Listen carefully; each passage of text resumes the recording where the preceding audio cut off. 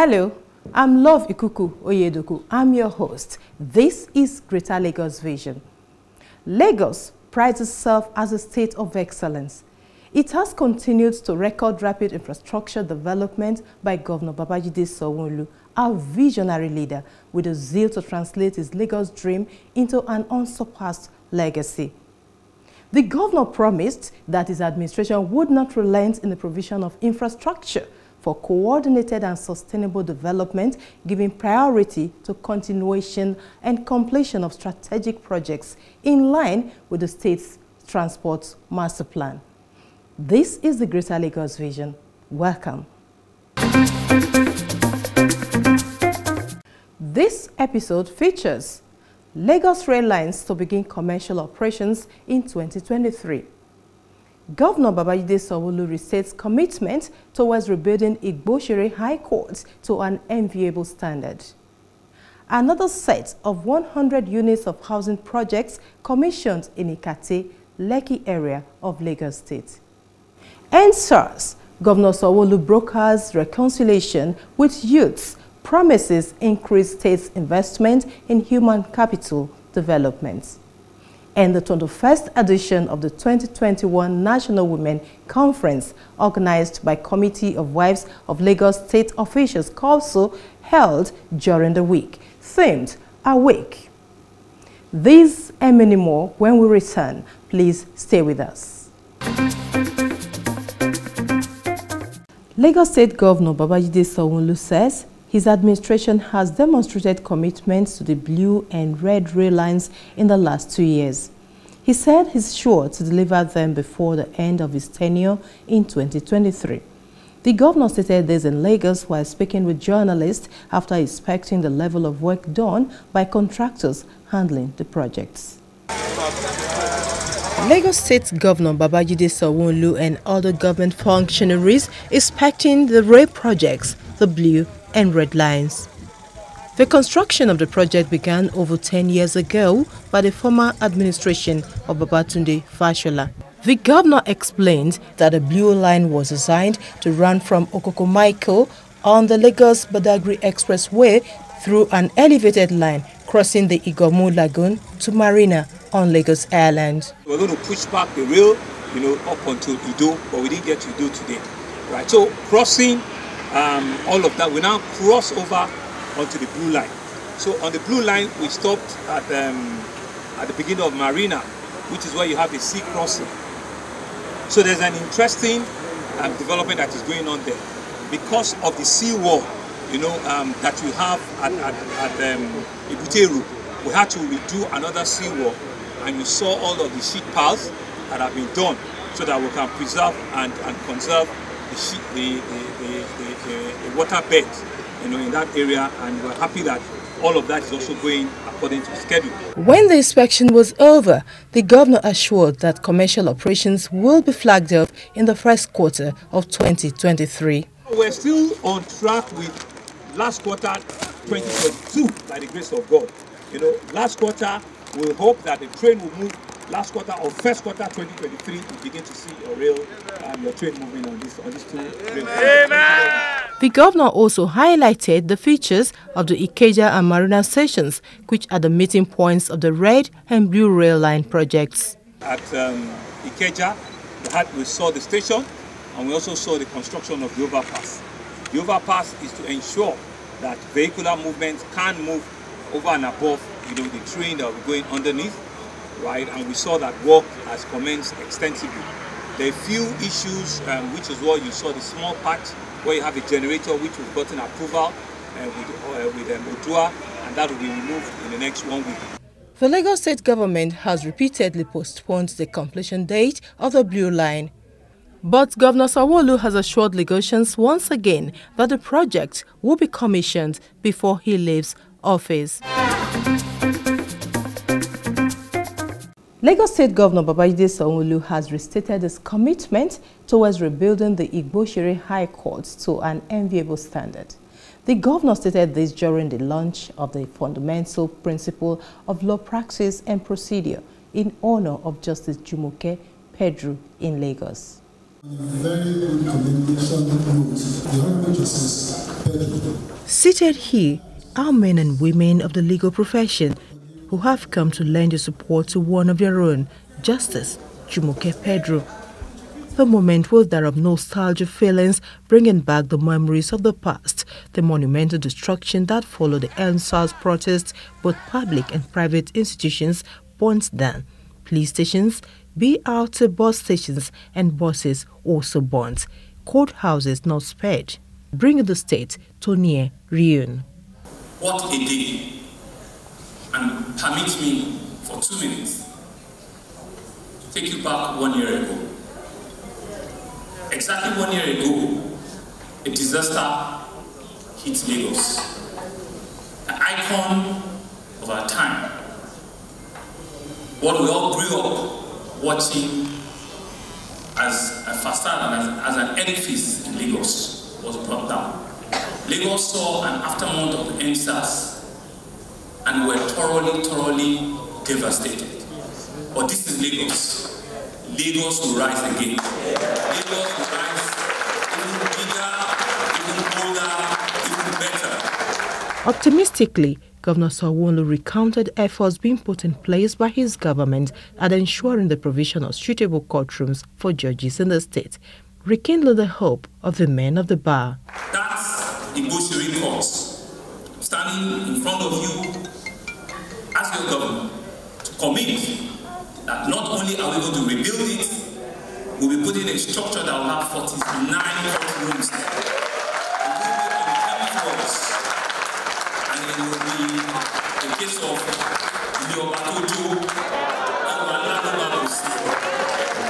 It may interest you to note that the Lagos State Chief Executive also reassured these legal luminaries that his administration will continue to guarantee the independence of the judiciary at all times.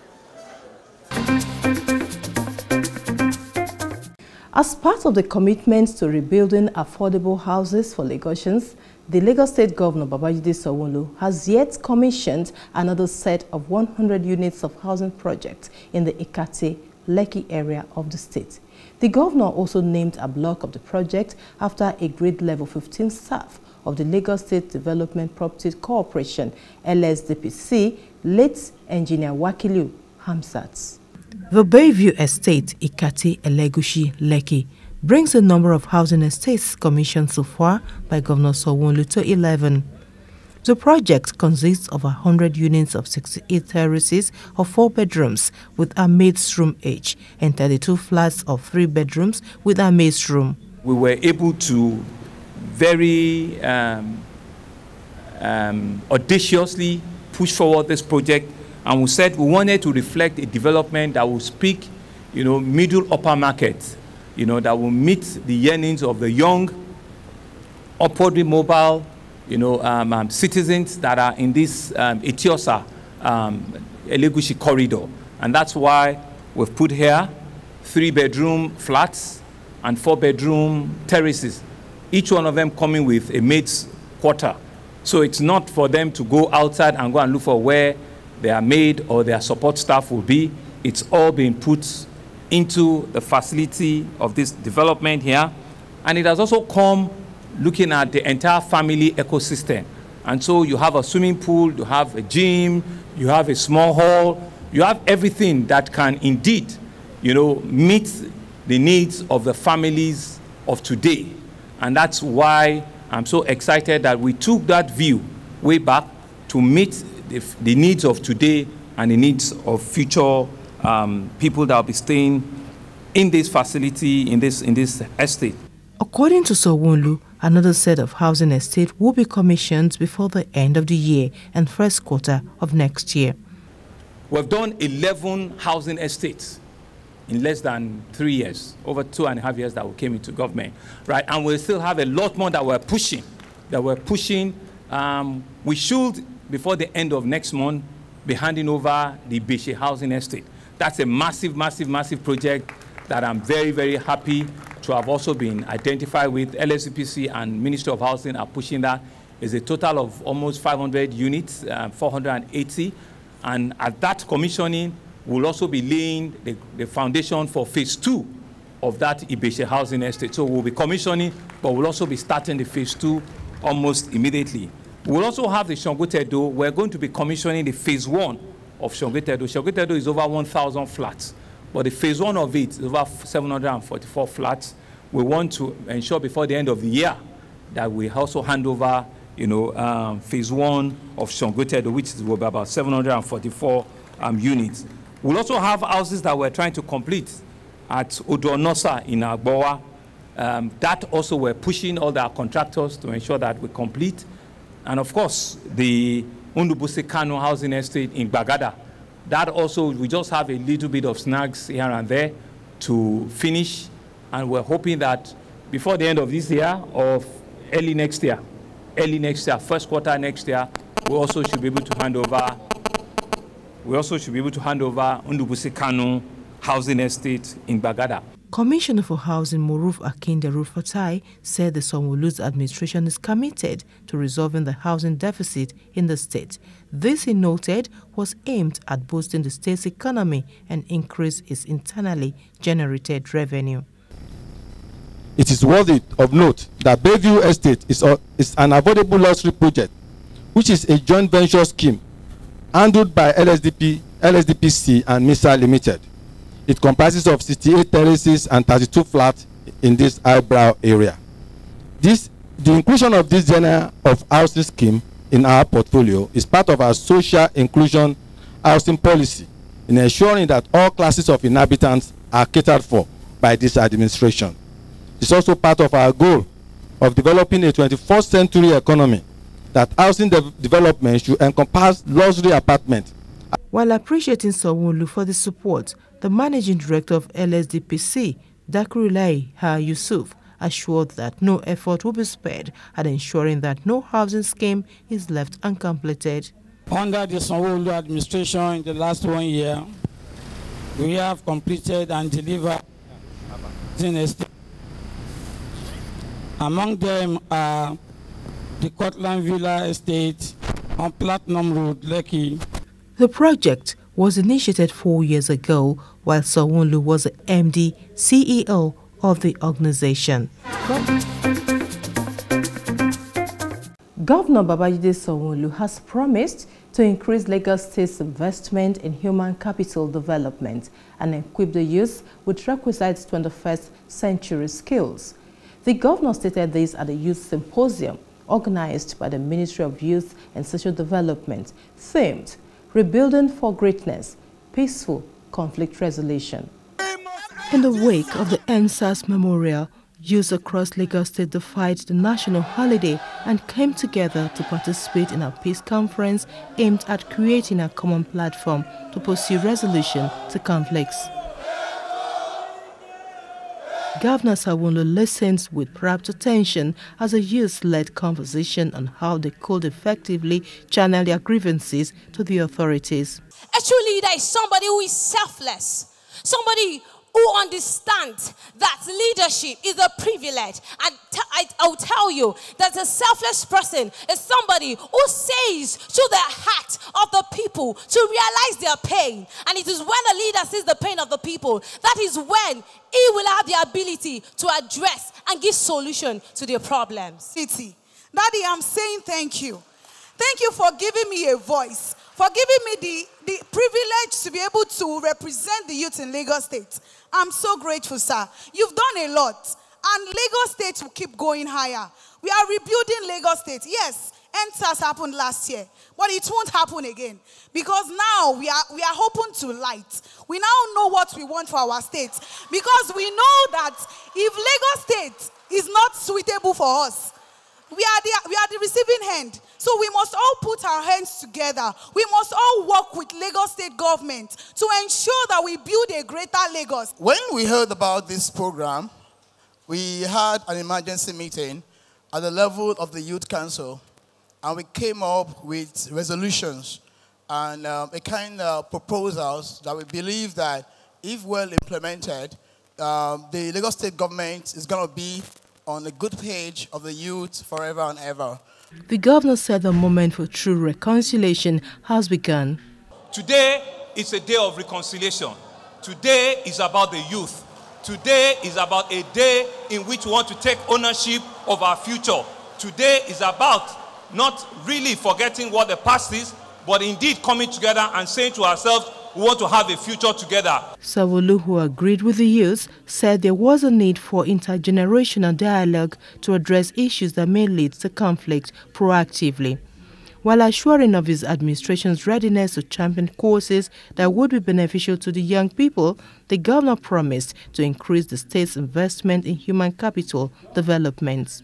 And so I take your point very seriously that human capital in health, in education, is the way to go. Commissioner for Youth and Social Development, Shegu Dawudu, who was represented by the Permanent Secretary, Dr. Oluwagbemiga Aino, said rebuilding Lagos for greatness involves constructing a formidable identity to unify people of common interest for a common goal. Aftermath of a negative conflict is never beneficial to the individual, to the society or community, or the nation at large, and even globally. I want every youth to know here that they can demonstrate certain efforts towards nation building. And that is why we felt it, the governor of Mr. Babajide Sanwo-Olu felt it wise that it's better we sit down without this intention of blaming ourselves for what has happened to us. What we suffered within a year ago runs to millions of or trillions of naira and also colossal loss of property and lives. And as a resilient society for which Lagos State is known for, we are also further demonstrating here that we can lead and we can demonstrate that Lagos is truly a resilient society. And that is why we have deemed it fit that those that this affects are the ones that will be the forebearers to discuss these issues and see how such will never happen again. How they will also be active participants in nation building. The consensus here is that except the basic demands of the youth are substantially implemented, Nigeria may never regain their trust. And the 21st edition of the 2021 National Women Conference, organized by Committee of Wives of Lagos State Officials, also held during the week, themed Awake Ondo State Governor Rotimi Akeredolu, while declaring open the conference, called for more active participation of women in politics, saying men have failed to find solutions to numerous problems bedeviling the country.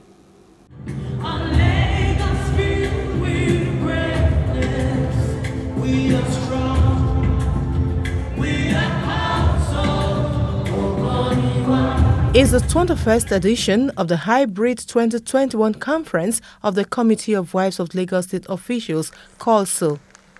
Having as its theme, Awake, a clarion call to the 21st century women to become fully alert of our responsibilities as a pillar, enabler, and catalyst within the family. Ondo State Governor Rotimi Akeredolu declaring the conference open beckoned on women to rise up and occupy their rightful place in politics. We have had women in this country who have contributed a lot to the development of this country. We can keep on, we can name them. Remember those famous women during the Aba riots. We knew what they did. We must remember and cannot forget Margaret Echo. Neither can forget the Queen herself, Funmilayo Ransom Kuti. These are great women. Neither can forget Ladi Kwali. And we should not lose sight of Adia Sawaba. And lately, Kudirat Abiola. So women have performed heroic in this country, and we must continue to appreciate them. So I see it that with the deeds of these women, it's clear to me that there is no reasonable society that can confine women to the back seat. It's not possible any longer. You can't confine women to the back seat and expect that you make progress. If this country must progress, we must move with our women. or women must lead us to progress. Lagos State Governor Babajide Sanwo-Olu emphasized the importance of women in society, especially in a home. He urged women of all ages to be bold, assertive, and fearless in the quest for a truly just, equitable, and inclusive society. Awake is not only apt, it's not only appropriate, it's for you to be a lot more resilient, to be aware of your environment, to have a new approach to doing things, to ensure that you have an integral and a sustainable mindset and everything that you find your hands to do. As individuals, as organization, as corporate entity, I think it's important for us to know that all of you working collaboratively as partners with government, we can achieve a lot together working in unity. And so, as your leader in government, it's important for us to listen and to know that the, the, the, the talks and the, the, the, direction that will coming out from this year's conference today, tomorrow, and next tomorrow will set a path that we believe will help shape you know, the, the tomorrow's lady from today and begin to shape you know, the leadership role that Lagos and Council you know, have in our government and in the convergence and in the conversations of a greater Lagos. Chairman of COWLSO and wife of Lagos State Governor Dr. Ibijoke Sanwo-Olu earlier in her opening speech posited that recent security challenges facing Nigeria is a wake-up call for women to prepare themselves for the future. She charged women to stand and contribute positively to society. This conference is a platform for women not just in Lagos, but from all over the country and beyond our shores to come together to share experiences and insights on modern day issues affecting women, men, children, youths, the home front, and the society in general. This annual conference is one of the major initiatives of Council to make a significant positive difference in society, especially in terms of creating convergence and the avenue for women to unlearn, learn, and relearn in order to align with modern realities and also prepare them ahead of challenges of life. You will agree with me that with the recent spate of kidnapping, terrorism, banditry, and other forms of violence, a convergence of this sort aimed at the future preparedness of our women is most desired. Highlights of the opening day was the presentation of the 2021 Inspirational Women Award to some members. Kafaru Uluwale Tinubu of the famous Tinubu dynasty of Kakawa Award was also presented to Nigerian female footballer Asisat Oshoala as a 2021 Inspirational Youth. Um, I really thank you so much. Um, I appreciate and God bless you all. One thing I always say to people is um, make sure you have um, the right people around you, you have the right guidance around you, um, at the end of the day, you can't do it alone. But also, if you have to choose something in life that you want to pursue, make sure you do it with all your heart. And I'm so sure that you, you come out um, with flying colors. Um, don't give up on your dreams. There are going to be a lot of obstacles. There will be a lot of hurdles to cross. Um, just keep going. Don't give up until you get to the place you want to get to in life. And I wish you good luck.